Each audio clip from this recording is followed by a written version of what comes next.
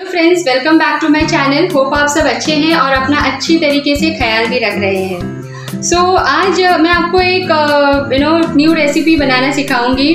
Monkey के एक new recipe बनाना सिखाऊँगी जो है Mac egg burger you know हमने मैकडोनल्ड्स में तो काफ़ी टाइम हम गए हैं और काफ़ी हम लोग ने बर्गर्स भी वगैरह ट्राई किए हैं। वेज बर्गर्स हो गया वेज अपना चिकन बर्गर हो गया वेरियस काइंड ऑफ़ बर्गर्स हम लोग ने खाए हैं राइट मैक एग बर्गर भी था वहाँ पे। सो so, अगर हम घर में कैसे बनाएँ हम ये मैक एग बर्गर घर पे किस तरीके से बनाएँगे? Very simple and quick recipe है, जो मैं आपको बनाना अभी बताऊँगी। ओके उसके पहले अगर आपने मेरा चैनल सब्सक्राइब नहीं किया है सो उसे सब्सक्राइब कीजिए शेयर भी कीजिए और लाइक भी कीजिए। ओके सो चलिए फिर शुरू करते हैं बनाना और आज मुझे तनिष भी मदद कर रहा है। So it was a very hectic day for me so आज ये is help me out to make the Mac egg burger हमेशा मुझे पूछते हैं, मम्मा, ये कैसे बनाए? ये कैसे बनाए? ऐसे कैसे बना कैसे बना क्या? यू ओनली कम नो हम साथ में ही बनाते हैं, है ना? तो चलिए फिर शुरू करते हैं मैक एग बर्गर बनाना. पहले जो मैंने एक अनियन है उसे मैंने इस तरीके से कट करके ले लिया है और उसे मैंने पानी में भिगो के फ्रिज में रख दिया है ताकि इसका अच्छा सा ये जो मॉइस्चर है वो उसमें इंटैक्ट रहेगा। मैंने इस तरीके से बर्गर बंस ले लिया है उसे मैंने आ, ऐसे इस तरीके से मैंने कट करके ले लिया है। इस तरीके का बर्गन बर, बर्गर बन था मैंने उसे बीच में से कट करके ले लिया है। सबसे पहले जो बर्गर बन में हम आ, दोनों पोर्शन में बटर लगा के हम उसे टोस्ट करके लेंगे।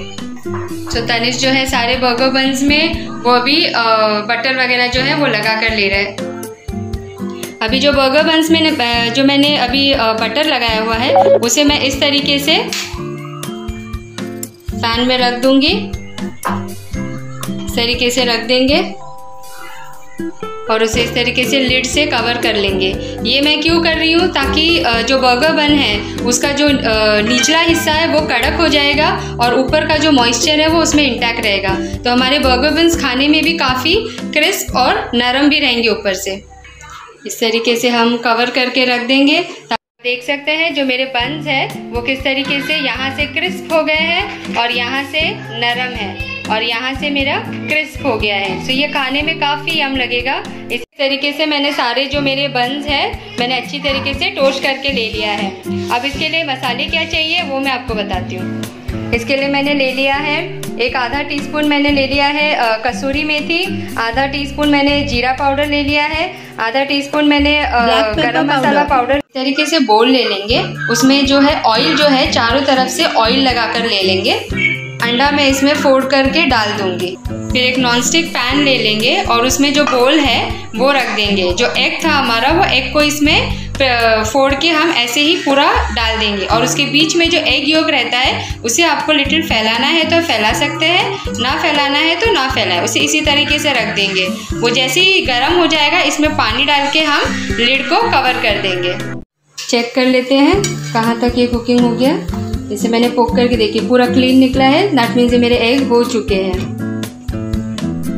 इसे थोड़ा ठंडा होने देते, फिर हम इसे नाइफ के मदद से चारों तरफ़ से निकाल लेंगे। बहुत इजीली निकल जाता। है देखिए इस तरीके से मैंने साइड से लेके निकाल लिया है, कितनी बढ़िया तरीके से ये निकल गई है। आप देख सकते हैं, मेरे सारे जो टिक्कीज है एक टिक्कीज, वो अच्छी तरीके से बाहर आ गई है। अब मैं बन बन बेस ले लिया मैंने। टिक्की रख दूँगी और इसके ऊपर जो मसाले हैं, ये डाल देंगे थोड़ा थोड़ा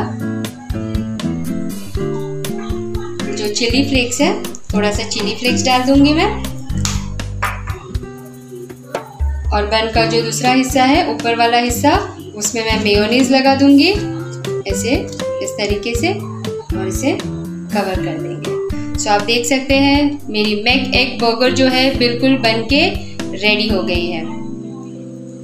काफ़ी यम बनी है मॉइस्ट भी है और यहाँ का जो है इसका क्रंची क्रस्ट हुआ है, अंदर टिक्की भी बढ़िया लग रही है। इसके ऊपर मैं एक और चीज़ ऐड करूँगी, वो बता देती हूँ। सिंस मैं ये बच्चों के लिए बना रही थी तो उनके मुँह में प्याज आ जाता है। इसके लिए मैंने प्याज नहीं डाला। मैं अभी इसमें प्याज डाल के बताती हूँ, जो मैंने ठंडा होने के लिए रखा था। इस तरीके से जो अनियंस मैंने जो, देखो कितने ठंडे ठंडे अनियंस हो गए हैं। मस्त बढ़िया तरीके से, इस तरीके से मैं रख दूँगी ये। और इसको कवर कर देंगे। सो रेडी मैं egg burger like McDonald's so friends आपने देखा मैक एग बर्गर जो है कितनी बढ़िया तरीके से बन गई। आप इसे ज़रूर ट्राई कीजिएगा। बहुत ही सिंपल रेसिपी है झटपट सी रेसिपी और बहुत यमी भी बनती है। सो so, इसी तरह बने रहे मेरे साथ। अब तक के लिए थैंक यू बाय